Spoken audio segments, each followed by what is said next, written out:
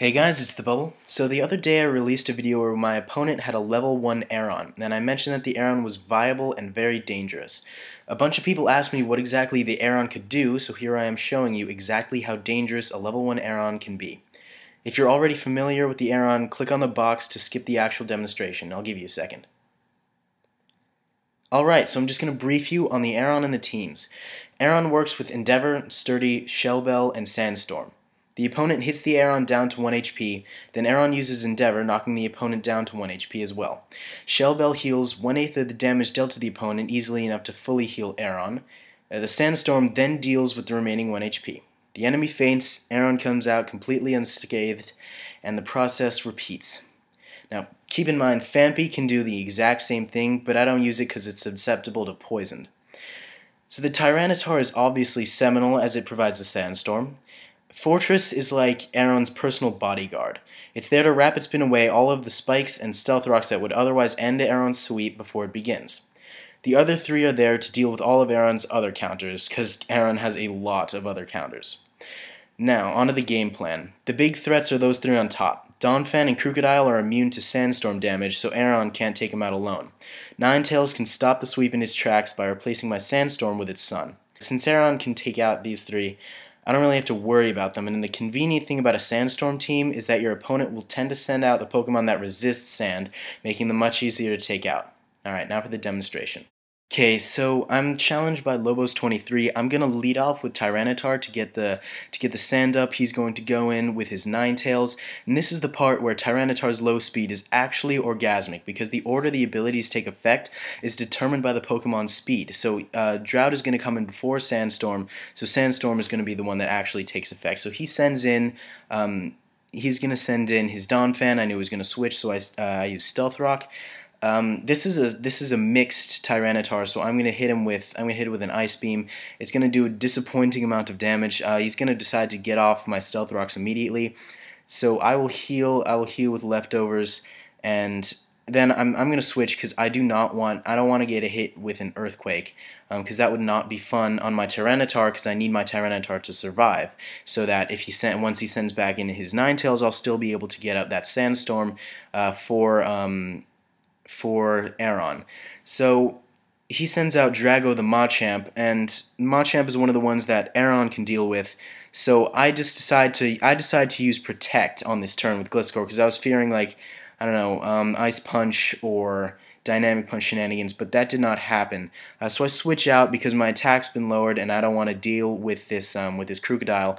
But unfortunately, on my switch into Forretress, he's gonna he's gonna go and use Bulk Up, which is not good because Forretress can't really do much uh, to this guy. I figured um, I I used Gyro Ball here, Gyro Ball, Gyro Ball here because uh, of his low speed. I figured it would do a lot, but he ended up using Bulk Up twice, so that is not gonna do much damage. So I will call Forretress back.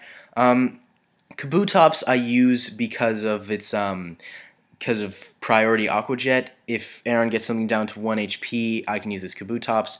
But more often than not, I just end up sacrificing it so I can get a free switch in. Um, so I will. I this this red common is going to be really difficult to deal with. So I just send in Aron. Time to bring out the big guns. Um, he's gonna he's gonna hit me with Earthquake. This is the first time you really get to see the Aron strategy uh, happen happen real time. So I'm gonna get him down. It's not gonna be. I'm not gonna be able to take down Krookodile. Um, because it's immune to Sandstorm, but I'll be able to get it down to 1 HP regardless. See, Aron, I don't really need to take him out because he can sort of like, not quite revenge kill, but revenge get him down to 1 HP, if you know what, I'm, if you know what I mean.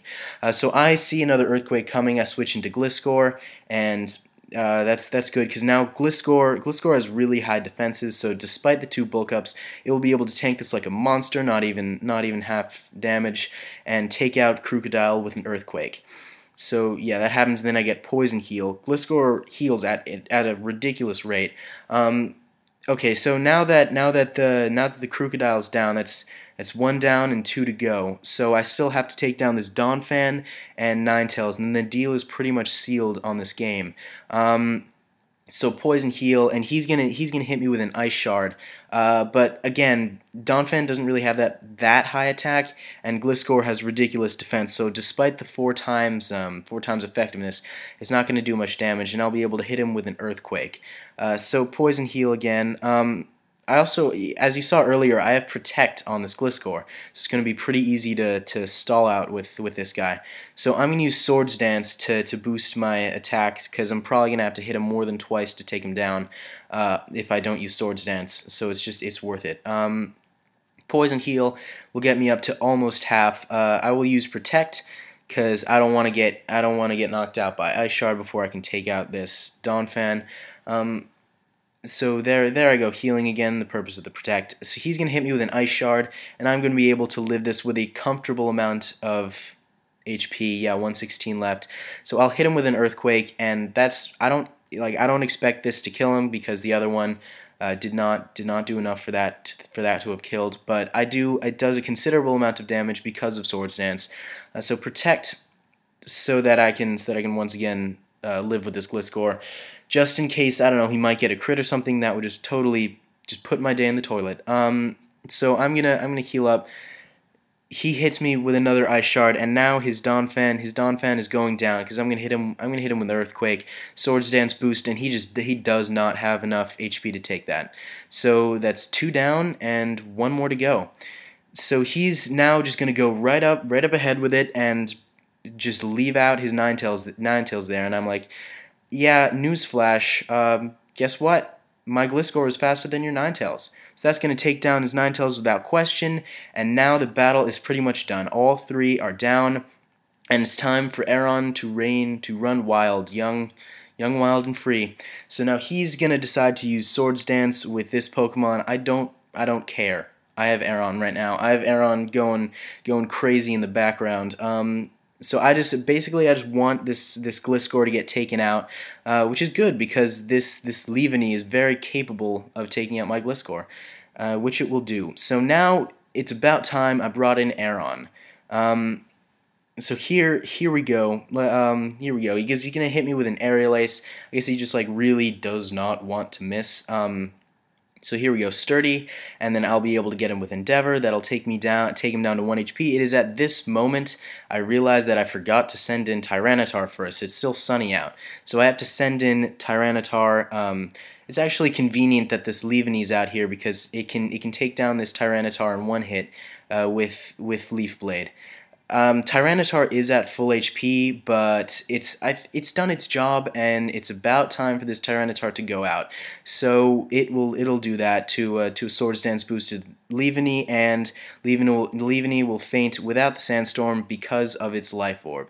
So out comes Dino Spark the Ampharos, and here is where the strategy actually take like finally will will take effect in full. So Sturdy, all right, Endeavor will take him down all the way down uh, to 1 HP, and then I get my Shell Bell back up to 12, and then the Sandstorm finishes him off. Alright, so that, that was it right there. Uh, and I'm I get to go in completely completely fine for the next round. He hits me with a dynamic punch. Uh, that'll get me down to 1 HP. Now, dynamic punch does have a 100% confuse rate, but Aron is a level 1, chilling with a level 100s. It it knows that it needs to go hard.